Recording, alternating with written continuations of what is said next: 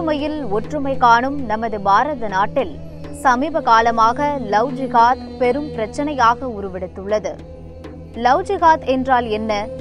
முஸ்லிம் மதத்தைச் சேர்ந்த ஒரு இளைஞன் வேற்று மத பெண்ணை காதலித்து திருமணம் செய்வதாக ஆசை வார்த்தை கூறி அந்த பெண்ணை தங்கள் மதத்துக்குள் இழுப்பதைதான் லவ் ஜிகாத் என்கிறார்கள். இந்த லவ் ஜிகாத் வேலூர் மாவட்டத்தில் அதிக அளவில் நடப்பது அண்மையில் நடந்த ஒரு சம்பவம் மூலம் உறுதியாகியுள்ளது. காட்பாடி அடுத்த மொட்டுக்குளத்தைச் சேர்ந்தவர். இருபத்தி இரண்டு வயது பெண் பட்டதாரி சுபத்ரா தேவி.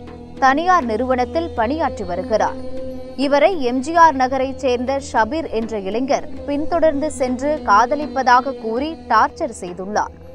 முஸ்லிம் மதத்துக்கு மாறி தன்னை திருமணம் செய்யும்படியும் சுபத்ரா தேவியை மிரட்டியுள்ளார். இருவரும் ஒரே கல்லூரியில் படித்தவர்கள். முதலில் ஷபீரின் செய்கைகளை சுபத்ரா தேவி பெரிதாக எடுக்கவில்லை.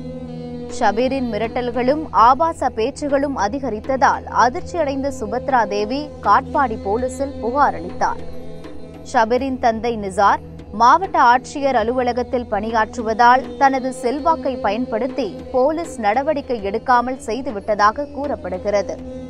இதனால் வேலூர் மாவட்ட போலீஸ் சூப்பரிண்டென்ட் அலுவலகத்தில் சுபத்ரா தேவியின் பெற்றோர் புகார் அளித்தனர். என் பொண்ணு வந்து ஒரு முஸ்லீம் மாணவன் நீ மதம் விட்டு மாறி என்னைத்தான் கல்யாணம் பண்ணி திறந்தோறும் பயணமான பதவி மூன்று முறையாக நாங்கள் காட்பாடி சிலையில் கம்ப்ளைண்ட் பண்ணியும் தகுந்த முறையில் அவங்க நடவடிக்கை எடுக்கலை. இந்துவாக இருக்கிற அந்த பெண்ணை முஸ்லீமாக மதம் மாதிரி என்னை திருமணம் செய்து கொள்ள வேண்டும் என்று என்று பலமுறை அவர் தாக்கியிருக்காங்க அடிச்சிருக்காங்க. இவங்களும் போய் காவல் நிலையத்தில் காட்பாடி காவல் நிலையத்தில் புகார் கொடுத்துருக்காங்க. காவல்துறை இது வரைக்கும் எந்த நடவடிக்கை இல்லை. இது வந்து பின்னணி பார்த்தீங்கன்னா மிகப்பெரிய அமைப்பு இருக்குது இதுக்கு பேர் லவ் ஜிகாத்துன்னு பேர். இந்து பெண்களை திட்டமிட்டு காதலிச்சு மதமாத்திர வேலையில் முஸ்லீம் இளைஞர்கள் ஈடுபடுறாங்க. அது தமிழ்நாடு முழுக்க இல்லை நாடு முழுக்க நடந்துட்டு வேலூர் மாவட்டத்தில் அதிகமாக நடந்திருக்கு. அதன் பிறகும் நடவடிக்கை எடுக்காமல் போலீசார் அலட்சியம் காட்டினர்.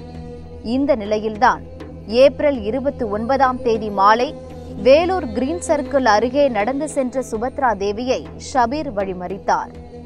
மதம் மாறி தன்னை திருமணம் செய்ய மறுத்த நீ உயிரோடு இருக்கக்கூடாது என கூறியபடி சுபத்ரா தேவியின் கழுத்தை அறுத்தார்.